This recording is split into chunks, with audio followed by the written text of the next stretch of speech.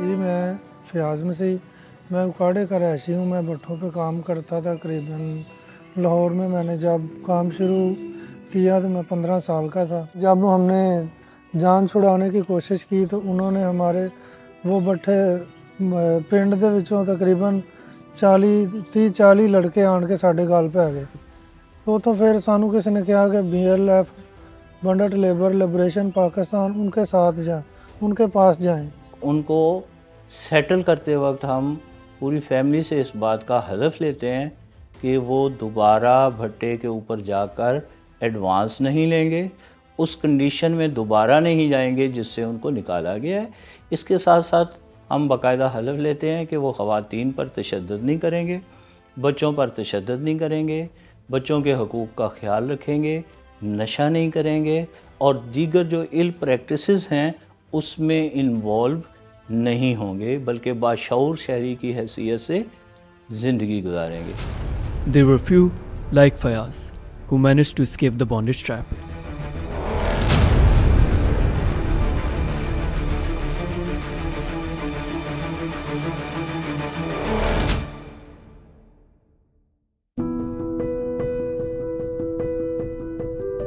मैंने आज तक जो है जो पचासी हज़ार से ज़्यादा जो है ना मैंने मज़दूरों को आज़ाद करवाया और मेरे लिए सबसे बड़ा चैलेंज यही होता था कि जब मैं उनको आज़ाद करवा लेती थी किसी एक फैमिली को तो फिर इसकी प्रोटेक्शन कैसे करती है?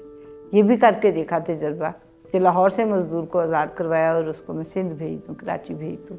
वहाँ जाके वो जो भी कर सके, वो मजदूरी करे कि जब हम बेलफ लेके जा रहे थे तो मालिक को इतला हो गई और उसने फौरी तौर पे लेबर को साइड पे कर दिया। कभी मुर्गी खाने में बंद करता था, कभी कहीं बंद करता था, लेकिन बहरहाल हमने उनको भी रिकवर करवा लिया।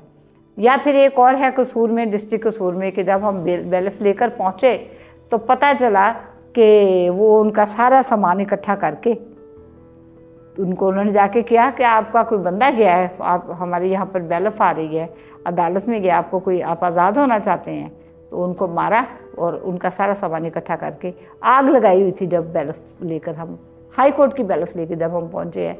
और पुलिस स्टेशन जाने के लिए हम मज़दूर को अकेला भेज नहीं सकते बैलफ के साथ। वो तो अकेला बहुत ही कमज़ोर है। हमें फिर अपनी टीम को हम, हमारी एक्सपर्ट्स की टीम जो है, वो साथ साथ रहती है और किसी ना किसी जगह पे मैं भी पीछे होती हूँ और उस सारे को मॉनिटर कर रही होती हूँ, देख रही होती हूँ कि सेफली लोग रिकवर होके आ जाएँ। फिर उनको हम अपने पास रखते हैं, उस वक्त तक उनकी प्रोटेक्शन करते हैं, जब तक कि उनका सारा कानूनी मामला जो है वो अदालत में होते हैं और उनको कंप्लीट प्रोटेक्शन नहीं मिल जाती, तब तक वो हमारे पास ही होते हैं।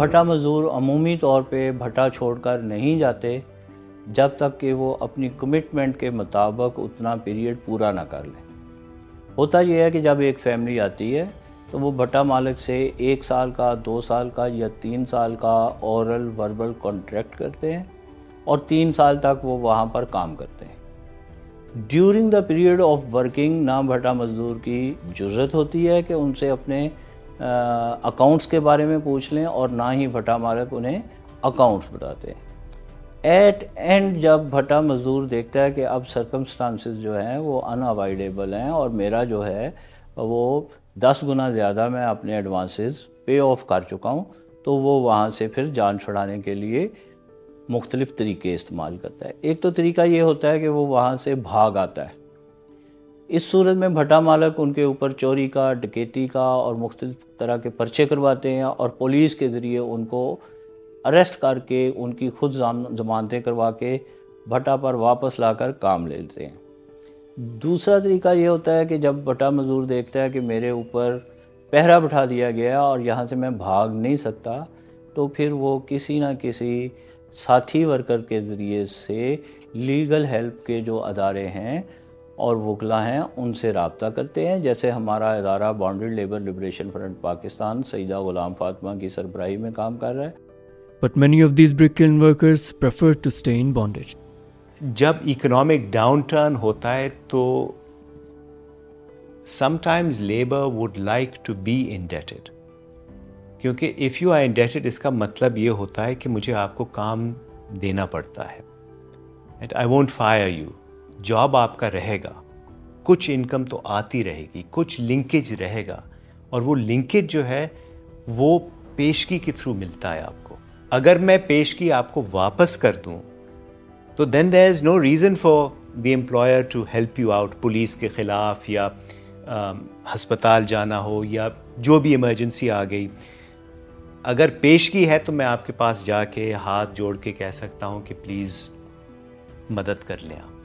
साल में दो दफ़ा थर्टी जून और थर्टी दिसंबर, ठीक है? ये दो ऐसे मौके होते हैं कि ये अपनी मर्ज़ी से, अपनी विल से जहाँ जाना चाहते हैं चले जाएँ। इस दौरान अगर, अब तो ये इसका भी वेट नहीं करते, किसी वक्त भी जा, चले जाते हैं, भाग के भी चले जाते हैं। फ़र्ज़ करें, फाद साहब का भट्टा है, वहाँ पर भाग के चले गए। मैं फाद साहब के पास गया हूँ, फाद साहब ये बंदे मेरे पैसे देने इनकी मेहरबानी है अगर मेरे साथ तावन करें कि ठीक है भाई, उसके पैसे भाई आपने देने हैं, पीछे आपने। तो वो मतलब बाज़ का तो वो फिर करते हैं रिलेक्टेंट होते हैं पैसे देने में। कोई भी नहीं देना चाहता स्पेशली ये लोग जो है। लेकिन ये बटों वालों की अपनी अंडरस्टैंडिंग से ये मामला चल रहे हैं। अदरवाइज़ कानूनी तौर पे इसका कोई सिस्टम नहीं है।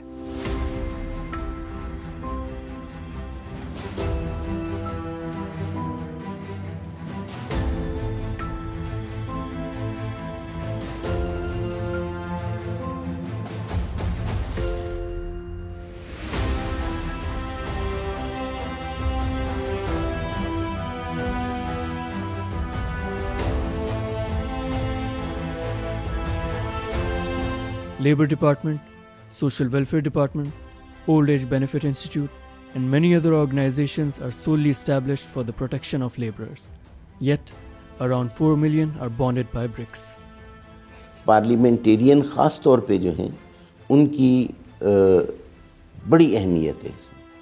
चूँकि कोई ऐसा कानून जो है वो बेहतर नहीं बन सकता अगर पार्लियामेंट की तरफ़ से वो एक्ट बन के ना आए। और एक और बड़ा इसमें अहम पहलू ये भी है कि हमारे जो पार्लियामेंटेरियंस हैं, उनमें से मोर देन सेवेंटी परसेंट वो लोग हैं जिनके पाँच पाँच दस दस भट्टे हैं।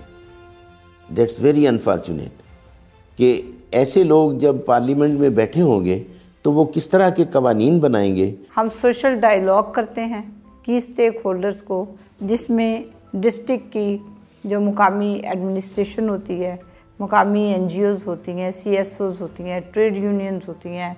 मुकामी वहाँ का जो पार्लियामेंटेरियन होता है पुलिस होती है सोशल वेलफेयर डिपार्टमेंट होता है आ, आ, लेबर डिपार्टमेंट बहुत इंपॉर्टेंट है बड़ा मेजर हमारा जो बड़ा की स्टेक होल्डर है वो लेबर डिपार्टमेंट होता है। हम इन सबको इकट्ठा करके एक ही टेबल पे बिठा के तो हम इनके साथ कंसल्टेशन विद की स्टेक होल्डर्स एक हम नाम देते हैं। और जब हम सिविल सोसाइटी और उनके साथ जब बात करते हैं सी एस ओज़ के साथ मुकामी तो हम उन्हें कहते हैं कि जी, आए बैठे हम ज़रा कुछ सोशल डायलॉग करना चाहते हैं और उसमें फिर हम एक इशू उनके सामने रखते हैं कि इस डिस्ट्रिक्ट के अंदर दो सौ तिरासी भट्टे हैं और दो सौ तिरासी भट्टों पर इतने वर्कर्स हैं और इन वर्कर्स को जो है इस वक्त रेट ये मिल रहा है, ये उसकी एविडेंस है। वर्कर्स से हम पहले हमने हमारी एक पूरी हमारे सोशल मोबिलाइज़र जो होते हैं या हमारे रिसर्चर्स होते हैं, वो भट्टे की भट्टों पे जाके तो वहाँ की जो सिचुएशन है प्रेजेंट जो सूरत हाल है, उसको एनालाइज करते हैं, उसको फिर एक रिपोर्ट की सूरत में हमारे सामने रखते हैं और वो फिर हम मुतलका जो भी डिपार्टमेंट है, जिनकी ऑब्लिगेशन बनती है, जो इसमें अपना अपना रोल प्ले कर सकते हैं, हम उनके साथ बैठ के तो एक मुशावरत करते हैं। इनके इंस्पेक्टर्स होते हैं, उनको इंस्पेक्शंस करनी चाहिए और भट्टों के ऊपर जो जाली खाते बनाए जाते हैं और दो दो तीन तीन खाते बनाए जाते हैं, जिसमें एक्चुअल खाता कुछ और होता है और फैब्रिकेटेड खाता कुछ और होता है, ये लेबर इंस्पेक्शन का रोल है और रिस्पॉन्सिबिलिटी है कि वो इन चीज़ों को फाइंड आउट करके कंप्लेन रजिस्टर करके इनके ऊपर केसेस करे। भट्टा मज़दूरों का खासकर, जो सोशल सिक्योरिटी का राइट है और जिसमें बारह तेरह सौ रुपया महीना एक वर्कर का महकमे को पे करना होता है, भट्टा मालकान वो पे नहीं करते। और उनको वो तमाम हकूक़ जो सोशल सिक्योरिटी से मिल सकते हैं, वो उससे महरूम रह जाते हैं और भट्टा मालकान कहते हैं कि जी, हम इनकी शादी, इनकी फौतगी, इनकी बीमारी की सूरत में इनको एडवांसेस देते हैं। एक्चुअल ये है कि अगर वो social well social security department में मज़दूरों को रजिस्टर करवाएँ तो वहाँ से मज़दूरों को जे, शादी फ़ंड भी मिलता है बच्चियों की शादी के लिए। बीमारी की सूरत में फ्री ट्रीटमेंट मिलता है। बच्चों की एजुकेशन जो है, वो क्लास वन से लेकर एमबीबीएस तक इंजीनियरिंग तक जो है, वहाँ से फ़ंड्स मिलते हैं हज का फ़ंड मिलता है, और अगर कोई फौत हो जाए तो फैमिली को कंपनसेशन के साथ साथ उसकी तजहीज़ व तकफ़ीन के लिए भी महकमा सोशल वेलफेयर सोशल सिक्योरिटी से जो है, वो बेनिफिट मिलता है, और सोशल प्रोटेक्शन की यही वो सारी चीज़ें हैं, जिसको पूरा करने के लिए बटा मज़दूर पेशगी एडवांसेस और लोन लेते हैं, और फिर उन लॉन्स को भट्टा मालक एक्सप्लाइट करते हैं Around 4 million workers, more than 20,000 brickyards, and a powerhouse of influencers. Can Pakistan become free of bonded labor? Market में आम बंदा जो इस वक्त मज़दूर काम कर रहा है वो 1200 से 1500 रुपया दिहाड़ी लेता है ये स्किल्ड लेबर है और ये स्किल इस तरह की है कि और कोई बंदा आम बंदा जाके ईंट बना नहीं सकता इसकी वजह से स्किल्ड लेबर के लिए ये स्पेशल रेट रखा जाता है। गवर्नमेंट पंजाब जो है, हर साल इस रेट को रिवाइज करती है। फिर कई दफ़ा वो ये भी कहते हैं कि हमने तो इतने पैसे नहीं दिए थे। हमने तो हज़ार ईंट डेली बनाई थी। हमने तो हफ़्ते की आठ हज़ार ईंट निकाली थी छः हज़ार ईंट बनाई थी। हमने तो अपनी फैमिली को साथ लगाए रखा था। हमारे पैसे जल्दी से उतर जाएँगे। तो ये जब, ये सबसे बड़ा एक मसला तो था कि मज़दूर ये नहीं पूछ सकते, सवाल नहीं कर सकते। तो हमने कहा कि पहले तो इनको गिनती सिखाई जाए, ना इनको पढ़ाया जाए, इनको बताया जाए, फिर उनको एक एक कॉपीज़ उनको पॉकेट छोटी छोटी जो है ना वो कॉपियाँ दी ताकि वो जो अपनी जेब में रख सकें और उसमें वो, उनसे कहा कि आप मालिक से लिखवा लिया करें, मुंशी से लिखवा लिया करें कि मेरी ये कितनी है। किसी और पढ़े लिखे बंदे की जब तक आपके पास नहीं आती तो नहीं हो, आप नहीं इस काबिल होते। फ़र्स्ट टाइम मैंने भट्टों पे विज़िट किए। क्योंकि मेरा अपना ससुराल जो था, वो भी भट्टे पे काम करता था। तो मैंने सोचा कि कुछ ना कुछ बच्चों के लिए किया जाए। तो फिर मैंने भट्टे पे एक स्कूल खोला। तो वहाँ बच्चों को पढ़ाना शुरू किया। तो उसमें काफ़ी स्कूल थे, डिस्ट्रिक्ट उकाड़ा में था, साहिवाल में था, लाहौर में थे। तो हमने जब उनको शुरू किया तो फिर मैं एज ए सुपरवाइज़र भी काम करती रही। फ़ील्ड में किसी जगह पे जब जहाँ मुनासब होता था वहाँ वर्कर्स को इकट्ठा करते थे और वहाँ उनको ट्रेनिंग देते थे। उससे फ़ायदा ये हुआ है कि अब उनको शूर भी आ गया वर्कर्स को कि ये बात ठीक है कि हमें अप, हमारे राइट्स नहीं मिल रहे। टा मालकान जो थे वो नहीं खुश नहीं थे कि ये लोग क्यों आते हैं? अंडर प्रेशर भी करते थे। आप हमारे पास आएँ, हमारे पास बैठें, चाय पिए मीटिंग्स करें, लेकिन हम सिर्फ़ वर्कर्स को मिलते थे। देखिए लिटरेसी से एम्पावरमेंट भी आती है कॉन्फिडेंस भी आती है। आपको पता होता है कि जी मैंने इतना लिया है, इतना नहीं लिया है। आप देख सकते हैं कि इस हफ़्ते मैंने इतने ज़्यादा लिए थे, इस हफ़्ते मैंने इतने लिए थे। तो एडल्ट लिटरेसी से बहुत फ़र्क पड़ेगा। But it is not the only answer क्योंकि अगर आपको पता भी है कि मैंने सौ रुपए लिए हैं तो आप करेंगे क्या?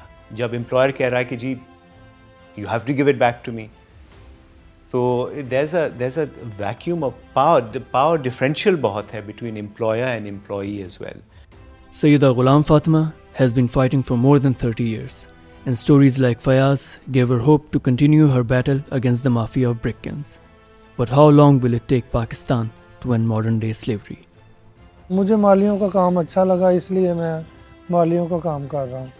हमने जब से भट्ठा छोड़ा, उसके बाद हम बिल्कुल खुशहाली से जी रहे हैं, अपनी ज़िंदगी जी रहे हैं। उधर हमारी हफ़्ते का हिसाब होता था तकरीबन पाँच हज़ार छः हज़ार।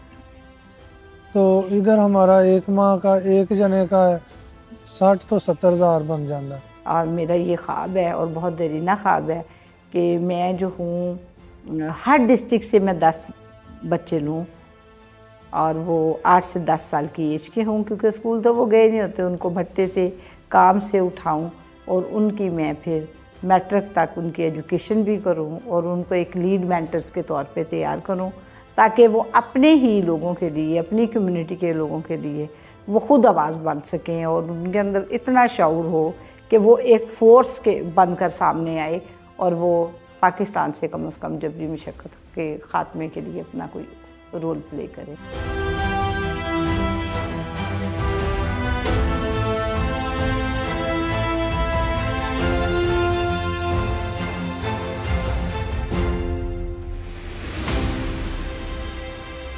Thank you for watching the full video. If you want to see more of such meaningful content, show your support by hitting the subscribe button.